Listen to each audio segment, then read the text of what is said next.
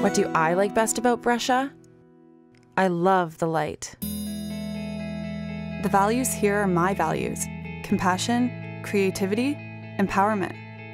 I love it that we're all from different places, different backgrounds, and we're all women. The campus is gorgeous, and there's something going on 24 7. That's easy. Dr. Garcia.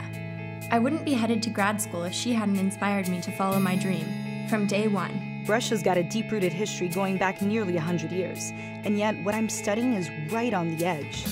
For me, it's always been about my Brescia family. I came to Brescia to discover my strengths. The new residence is where my friends and I hang out and recharge. In two minutes, I can cross the street and go from this intimate campus where I know everybody to one of the busiest universities in Canada. I love living at Brescia and working out at Western. These students, their passion for learning, their curiosity about the world, I learn from them every day. I sleep well, I eat well, and I've never wanted to work so hard. Studying at Brescia has given me the space to find myself and my voice.